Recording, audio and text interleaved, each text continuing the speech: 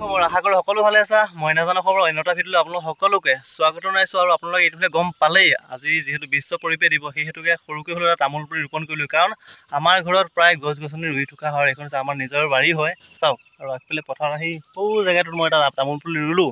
আৰু এইটো কথা নহয় যে আজি বিশ্ব পৰিৱেশ দিৱসৰ কাৰণে যে তামোল পুলি ৰুইছোঁ সেইটো কথা নহয়। আচলতে আমাৰ ঘৰত প্ৰায় গছ গছনি ৰুই থকা হয়। আৰু এইখন হৈছে আমাৰ বাৰী।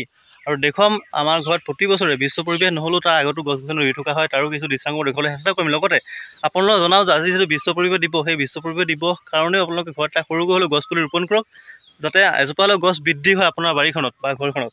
সেই হেতুকে আমি প্ৰায় দেখিবলৈ পাওঁ যে আমাৰ সমাজখনত বা আমাৰ সমাজৰ মানুহবোৰে বোৰে প্ৰায় নিজৰ প্ৰয়োজন অনুসৰি পৃথিৱীত থকা বা নিজৰ বাৰীৰ ভিতৰত থকা গছ গছনিবোৰ তহিলং কৰি শেষ কৰিব লাগে কিন্তু আমি পাহৰি যাওঁ যে পাছত এজোপা গছ কটাৰ বিনিময়ত আৰু এজোপা গছ ৰুব লাগে। সেইটো কথা ভুল যাওঁ। আচলতে সেইকাৰণে সকলোকে জনাওঁ যে আপোনাৰ বাৰীত থকা গছ গছনিখিনি থকাৰ উপৰিও যিখিনি গছ আপোনালোকে কাটে তাৰ বিপৰীতে দুজোপা তিনিজোপা গছ গছনি ৰোপণ কৰক যিহেতু আপোনালোকৰ বায়ু প্ৰদূষণমুক্ত হৈ থাকিব। কাৰণ গছ থাকিলেহে আমাৰ জীৱ জাতি প্ৰতি ধুনীয়াকৈ জীয়াই থকা এটা সকাহ পাব। কাৰণ গছ গছনিয়ে আমাৰ পৃথিৱীখনত অক্সিজেনত গছ গছনি নাথাকিলে পৃথিৱীখনত অক্সিজেনৰ কিমান অভাৱ হয়? যোৱা কৰোণা মহামাৰীত ৰোগতে আমি গম পালোঁ যে কিমান মানুহে অক্সিজেনৰ অভাৱত মৃত্যু হ'ল।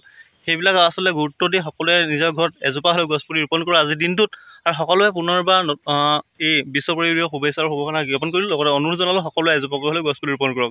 ধন্যবাদ সকলোকে। জয় আই অসম। এই যে গছ পুলিবোৰ আপোনালোকে দেখিছে এইবিলাক হৈছে আমাৰ ঘৰত থকা আজি যোৱা কালি পৰহি ৰোৱা গছ কাৰণ আজি বিশ্ব পৰিৱেশ দিৱস পাঁচ গতিকে আমি বিশ্ব পৰিৱেশ দিৱসৰ আগতে প্ৰায় আমাৰ ঘৰত গছপুলি ৰোপণ